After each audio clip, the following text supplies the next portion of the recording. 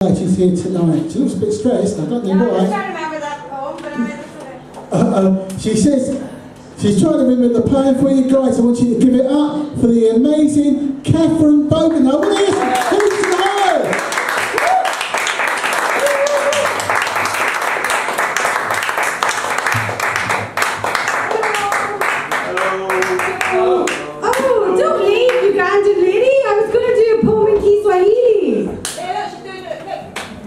Ugandan lady, do you speak Kiswahili?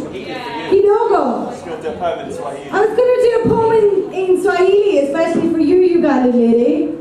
I think I can just about remember it.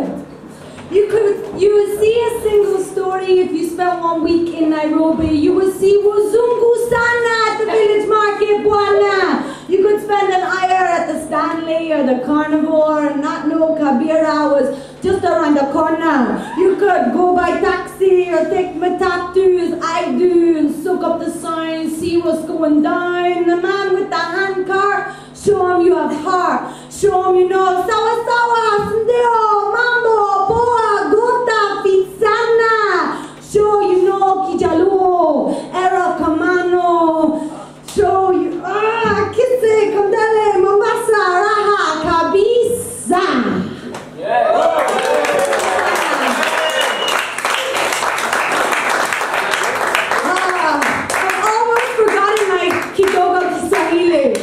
Too long. Ah, Sante Wala, Sante.